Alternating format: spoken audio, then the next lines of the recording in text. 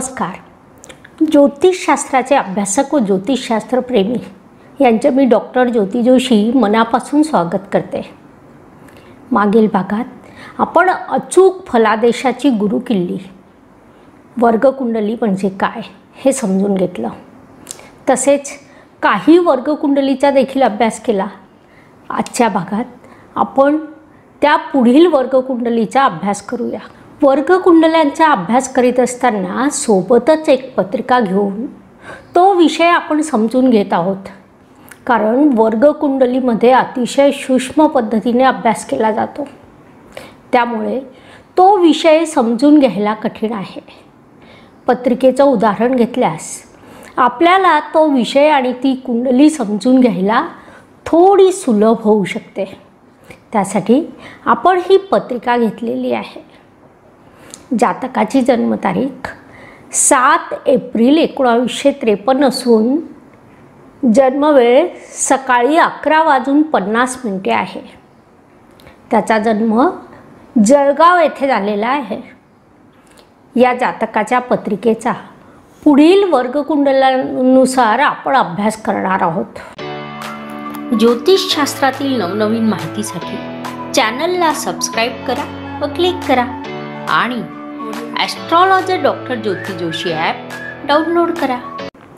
सप्तमांश कुंडली जिला आपण डी फाईव्ह म्हणून ओळखतो. सप्तमांश कुंडली ही षोडश वर्ग कुंडलीमधील एक अत्यंत महत्त्वाची वर्गकुंडली आहे.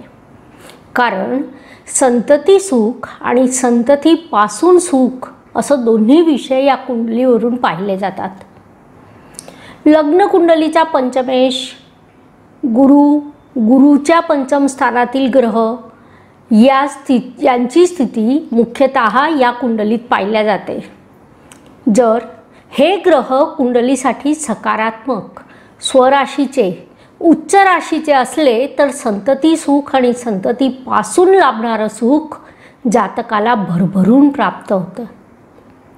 पंचमेश संततीचा कारक ग्रह गुरु.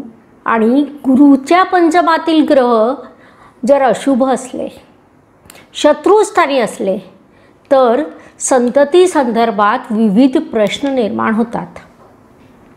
अशा जातकाला संतती सौख्य प्राप्त होत नाही.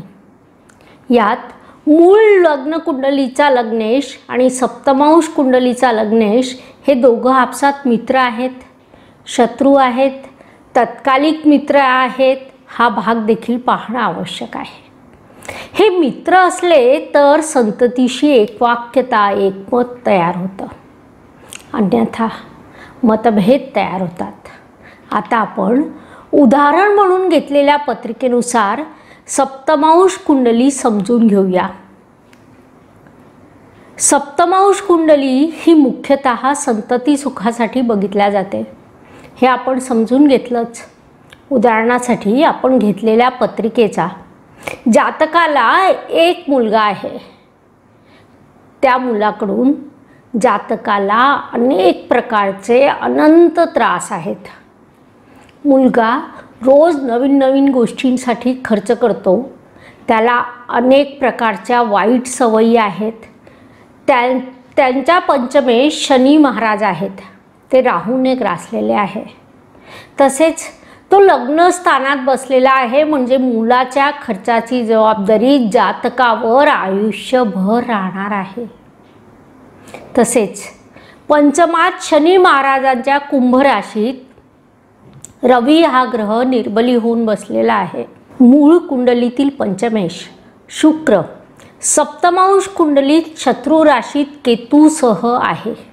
तसेच सप्तमांश कुंडलीचे पंचमेश म्हणजे शनी महाराज राहूसह युतीत आहे.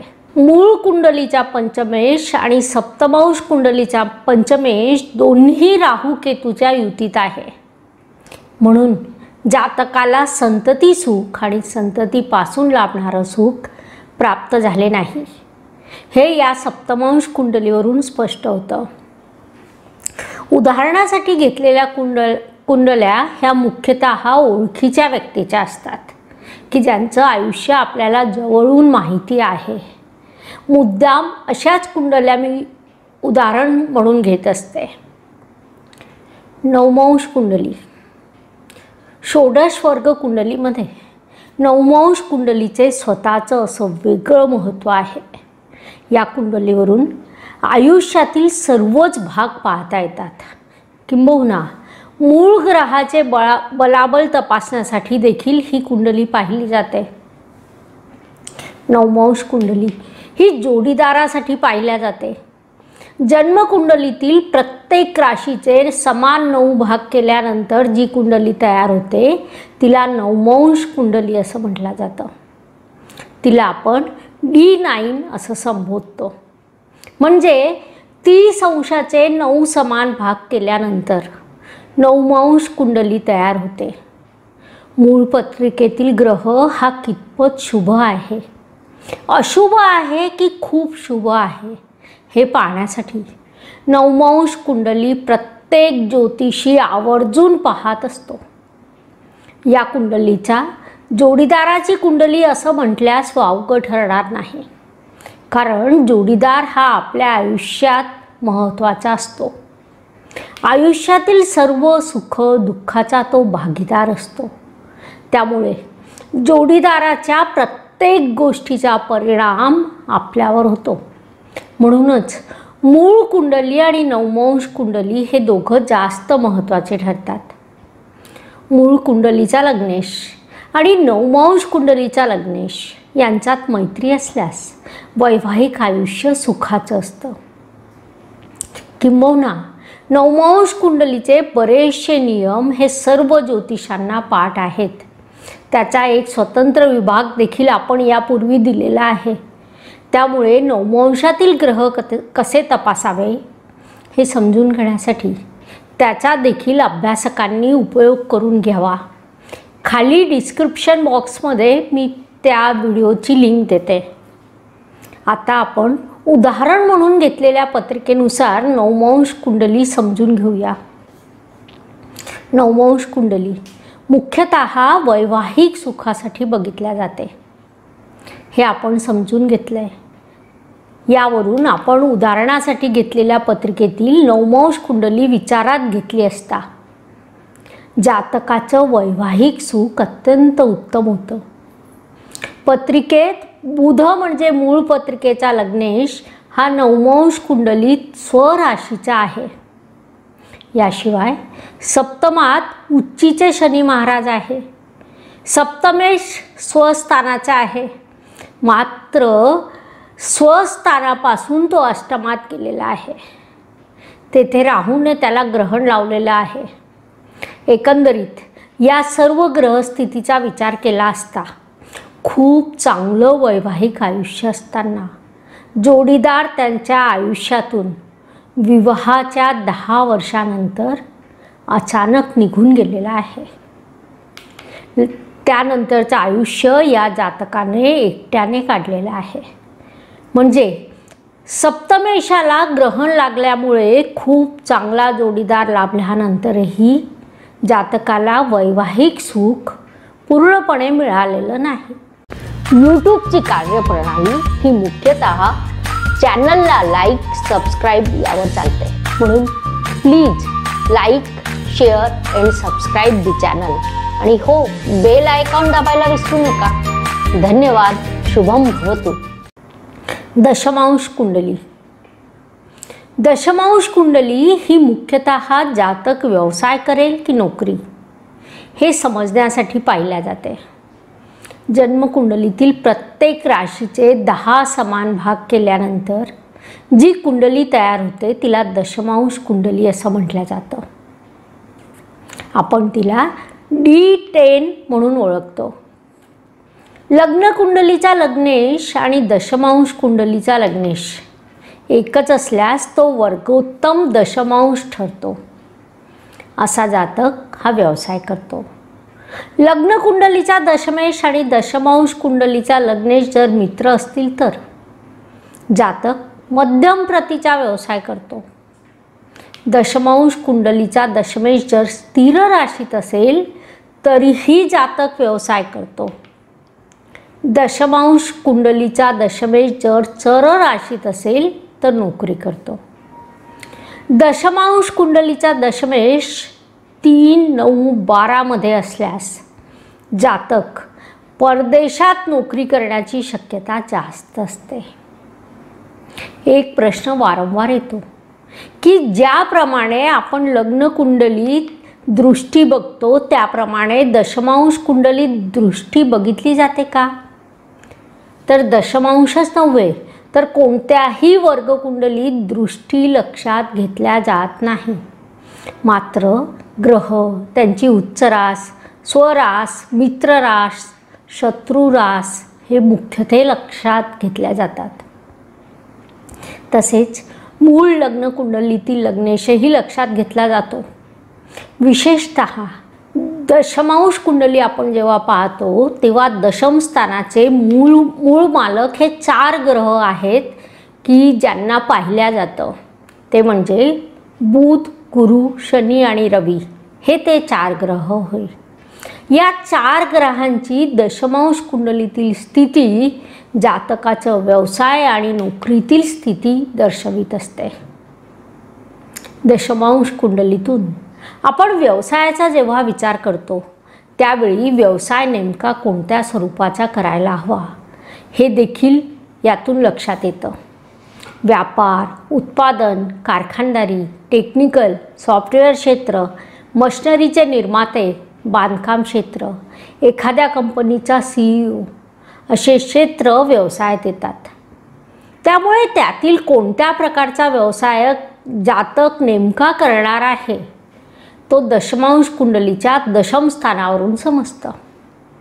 किंबहुना दशमांश कुंडलीमध्ये मूळ कुंडलीचा दशमेश आणि दशमाचा दशमेश म्हणजे सप्तमेश देखील पाहणं आवश्यक ठरतं. थोडक्यात लग्नेश दशमेश आणि सप्तमेश यांच्यासह ग्रहांचा जेव्हा आपण विचार करतो त्यावेळी दशम स्थानाचे प्रमुख ग्रह म्हणून ग्र गुरु रवी आणि शनी मंगळ या चार ग्रहांचा विशेषतः विचार केला पाहिजे. आता आपण उदाहरण म्हणून घेतलेल्या पत्रिकेनुसार दशमांश कुंडली समजून घेऊया. ही मुख्यतः जातक व्यवसाय करेल की नोकरी हे समजण्यासाठी पाहिलं जातं. हे आपण समजून घेतलं आहेच. आपण उदाहरण म्हणून घेतलेल्या पत्रिकेची ही मकर लग्नाची दशमांश कुंडली आहे. दशमस्थानात शनी आणि मंगळ आहे. शनी महाराज तिथे उच्चीचे आहे. जातकाचा वैद्यकीय व्यवसाय त्यावरून अभिप्रेत होत आहे. तसेच उच्चीचे शनी महाराज असल्यामुळे ते त्यांना शुभ देखील ठरलेला आहे. मूळ पत्रिकेचा लग्नेश बुध लाभात आहे. त्याच्या परिणामस्वरूप जातकाच्याने व्यवसायातून भरभरून पैसा कमवला. दशमांश कुंडलीचा दशमेश शुक्र स्थिर राशीत आहे. जातकाने स्वतःचा व्यवसाय केला. दशमेश पंचमात आहे. तो गुरुशी नवपंचम योग करीत आहे. यावरून जातक अत्यंत यशस्वी झालेला आहे. त्याने बऱ्यापैकी लाभ कमवला. बऱ्यापैकी मालमत्ता जमा केल्या आहेत. थोडक्यात मेडिकल क्षेत्रात एक यशस्वी व्यावसायिक म्हणून जातकाने नाव कमवले आहे. वर्ग कुंडलीचा अभ्यास करताना त्या कुंडलीतील सुखस्थान बघावे. म्हणजे आपण जेव्हा दशमांश कुंडलीचा विचार करीत आहोत तेव्हा दशमांश कुंडलीचा सुखेश मंगळ हा दशम स्थानात बसून सुखस्थानावर दृष्टी टाकत आहे. व्यवसायात सुख हा विषय त्यातून लक्षात येतो. एकंदरीत दशमांश कुंडलीत जी ग्रहांची स्थिती आहे त्यास अनुसरून जातकाचं व्यावसायिक आयुष्य उत्तम आहे हे या पत्रिकेतून सिद्ध होतं. वर्गकुंडलीविषयी आजच्या भागात एवढी माहिती पुरेशी आहे. पुढील भागात आपण अजून इतर वर्गकुंडलींचा अभ्यास करणार आहोत. तुम्हाला आजचा व्हिडिओ कसा वाटला? अवश्य कळवा. आवडल्यास चॅनल सबस्क्राईब करा. मित्रांना नातेवाईकांना चॅनलची माहिती द्या. शुभम भवतू. धन्यवाद.